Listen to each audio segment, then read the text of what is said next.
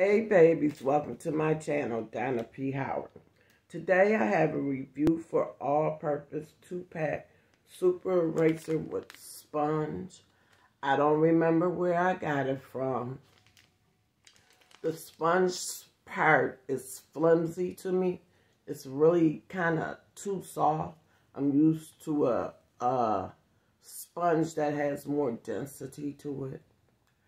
The eraser part it'll erase marks off your wall, like if you got a little pen mark or dirt mark or something, it's good. But if you got like grease splattered on your wall because you fry and stuff, it don't do nothing for it. So in my opinion, I would never buy this again. This is a no for me. Now, maybe another brand, maybe it might be good, but this particular brand, it's a no for me. It just really didn't do a good job for me. I've been deep cleaning my home and I've been washing walls and I've been washing appliances and I've been wiping down cabinets and the sponge just actually just fell apart. The white part just came off like, okay, I'm done.